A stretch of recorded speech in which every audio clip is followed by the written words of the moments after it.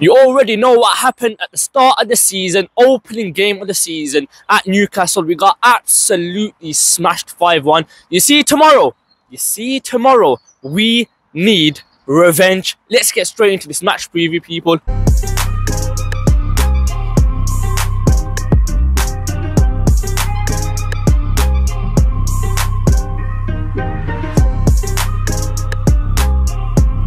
Yes, yes, people, how's it going? Welcome back to the channel. Of course, I am back for the match preview. Aston Villa against Newcastle tomorrow, 8.15 kickoff. Of course, at Villa Park. And I have to say, people, it has been way too long since we played at Villa Park. The last game was against Burnley.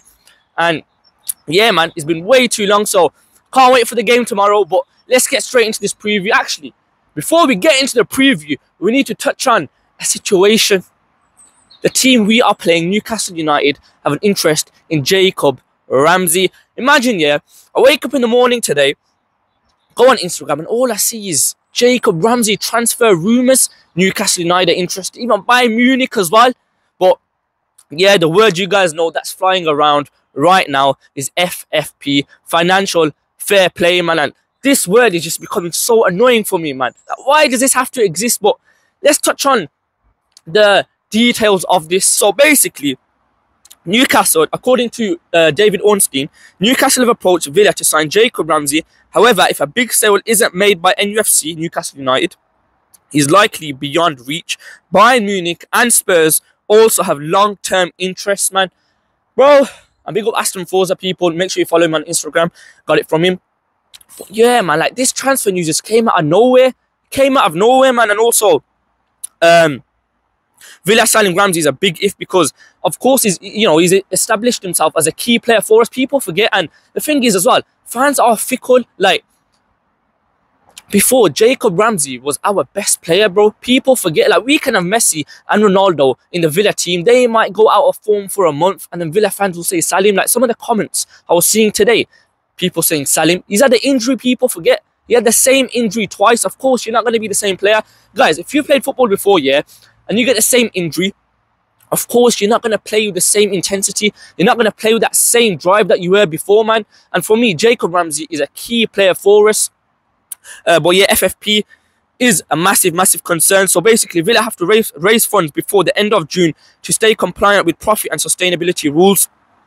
Plus, that has alerted suitors who believe offers above 50 million would at least be consist, uh, considered. So if a team does does bid 50 million plus, it can possibly mean that Jacob Ramsey does go. And also as well, it's, it's not just him. Like other key players in our squad, fan favorites, you know, players that are quite, you know, big, like Emi Martinez, these players there, bro, we never know. These players can can go as well. If it comes down to FFP and Villa need to raise funds, sometimes these players might have to go, man, which is is sad to see. But at the same time, I do hear it because if you want to, you know, be okay with FFP, you have to follow the rules. Look at teams like Everton.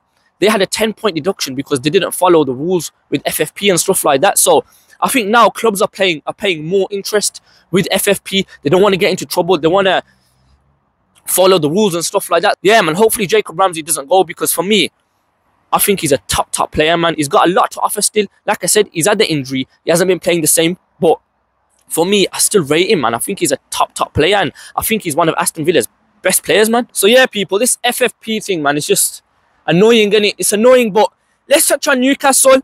Currently 10th in the league. They're coming back from the win against Fulham. 2-0 they won. And I have to say, they've had quite a few injuries this season. Like I said, they're 10th in the league, but I think that is a lot to do with um, they're missing key players, man, especially, at the start of the season. Like they've had tough fixtures as well. And I just think because they've missed key players, Eddie Howe hasn't been able to play his kind of style of football properly, that high intensity football.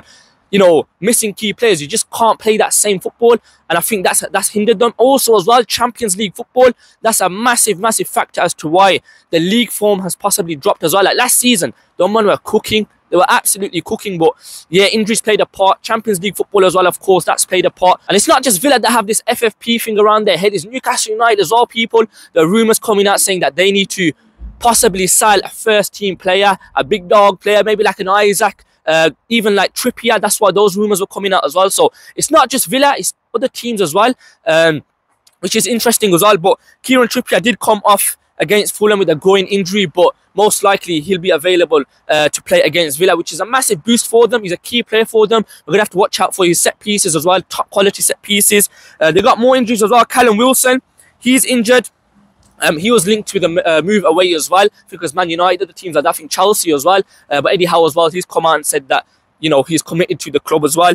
Who else is it? Almiron, he's got an illness, uh, but Eddie Howe hopes that you know he'll be available uh, against Villa. I think he's a tricky player. I think he can cause problems and stuff like that as well. Joe Willock, of course, he's injured. Um, I rate him highly as well. I think he's a good player, man. I think he's a good, good player, good Premier League player.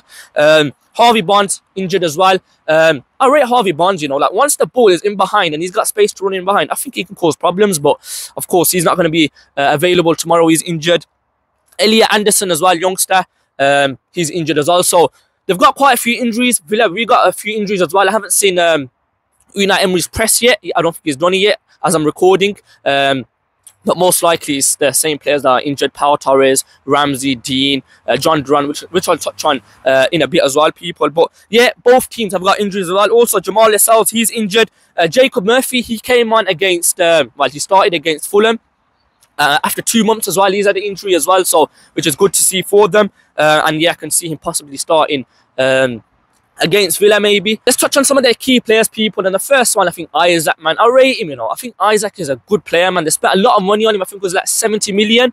Um, and yeah, he's doing well for them, man. I think he's a player we're going to have to watch out for, especially at defence as well. He's strong. He can hold the ball up. He's got a good shot on him as well. He's got pace as well. Um, and yeah, just that directness. Bruno, Bruno Guimaraes, he was linked uh, with the move away as well. Um, yeah, he's a key player as well. Trippier, like I said before, we're going to have to watch out for him, the set pieces. Anthony Gordon, he can cause problems. He's got that pace on him. Uh, Jacob Murphy as well, if he does start. Uh, like I said, he's coming back from, from his injury and stuff like that. But most likely we can see him start against Villa as well. Previous result at the start of the season, we got absolutely smashed. 5-1 people. 5-1. We got cooked. We got put in an air fryer, bro. In the oven, in the microwave, everything like that. That, that game was one of the worst games I've seen from Unai Emery's Villa side. But at the same time, you have to take into consideration that the Villa players were getting used to Unai Emery's system. We were getting, used to his, you know, his style of play, his philosophy and stuff like that. And yeah, man, like I said, we got absolutely smashed 5-1. But yeah, tomorrow, at 8.15 kickoff, under the lights at Villa Park. It's going to be a good one. The atmosphere is going to be absolutely electric. And also, I'm hearing as well, there's going to be another light show. We know what happened in that last game when there was a light show. Bruv, that can't happen again. But yeah, I can't wait for tomorrow, like I said. Now let's touch on Villa people. Currently fourth in the league, 43 points. And yeah, like I said at the start as well, the last home game was against Burnley and we won 3-2. Been absolutely time, absolutely time since we played at Villa Park. I just want to touch on some of the performances, people. Last couple of games, I have to say, they haven't been the greatest. We've been getting results and we're still in form. I'm hearing some people saying now Villa are going to fall off and stuff like that. Let's say that. That ain't going to happen. I still do think we'll get Champions League football, but I just think with the performances, we can do better. And tomorrow is a perfect game under the lights at Villa Park to play our football and play, uh, play fast-paced football as well because the last couple of games, the football has just been too slow. We're trying to bait teams out. We're trying to take them out of their positions. Um, but I just think that if there's more attacking fluidity, especially in the final third, we can cause teams problems 100%. Um, and yeah, we just need that final attacking third edge. Yeah, we just need that killer, that killer pass, that killer final third movement, I think. Uh, and yeah, I just want to touch on Diaby as well. I don't think he'll start tomorrow against my predicted lineup, but I don't know, man. I've, he's off form right now, and it's evident to see. Every Villa fan can see that. And I think with him is just need to give him some time, man. The start when he came and he was cooking, he had some goals, he got some assists, uh, but I just feel like he's kind of dropped off. Let's just get into some of the injuries, people. Pau Torres, of course, he's got that ankle injury, man. And yo, I keep saying this, Pau Torres is a massive, massive miss for us, man. Like, he is key in the way we want to play, man. And I just hope this injury ain't as bad. Like, I hope he's back for the next game. Who we got next Sheffield United? I hope he's back for that, man. And I just hope it's not as bad as as we think. Because, um, yeah, man, he's a top player for us. Uh, Jacob Ramsey's got a small hamstring injury. Uh, and, yeah, most likely he'll feature against Sheffield United. Jhon Duran, he's got a hamstring injury. He'll be out for a few weeks. Uh, Lucas Digne as well, he'll return into action next month. And he's close to returning to full training as well. So, yeah, man, there's injuries, there's injuries, there's injuries. But let's hope you get the result tomorrow, people. All right, cool. Let's get into my lineup now. And, of course, I'm going to go with Emi Martinez in goal. Right back, I'm going to play Matty Cash. Uh, centre backs, I'm going to go with Konsa and Carlos. Uh, I'll bench Lenglet. I'll play Konsa and Carlos. Uh, left back, I'll go with Alex Moreno. Centre mids, I'll go with Kamara Luiz. On the right, I'll go with John McGinn. On the left, I'll go with Tielemans. Um, and then up front, I'll go with Leon Bailey back in the squad, straight back in the squad. Um, and yeah, next to him, I'll play Ollie Watkins. That will be my lineup, people. I think Diaby uh, will be on the bench. Uh, and yeah, I think Leon Bailey will come in for him as well. Uh, but yeah, people, that's my lineup. Let me know your thoughts on the game in the comments below. Uh, actually, before we end that, prediction time! Prediction time! And yo, you know what? Going for a win. I'm going for a win. And I'm going for 2-1 to the Villa. I think we'll get two goals. I think they'll score a goal. But I'm going to go for 2-1 to the Villa people. Hopefully we get the result. Yeah, people, that is my lineup. That's a lineup I think Unai Emery will possibly play. Let me know your thoughts on the game in the comments below. Your predicted lineups, your score predictions. Uh, any Newcastle United fans watching, let me know your thoughts as well in the comments below. But yeah, people, like, comment, subscribe. And I'll be back for the match reaction and the match day vlog as well tomorrow after the game. So stay tuned for that. And hopefully it's a Villa win. Hopefully we absolutely source tomorrow, people. But I'm out. Up the Villa.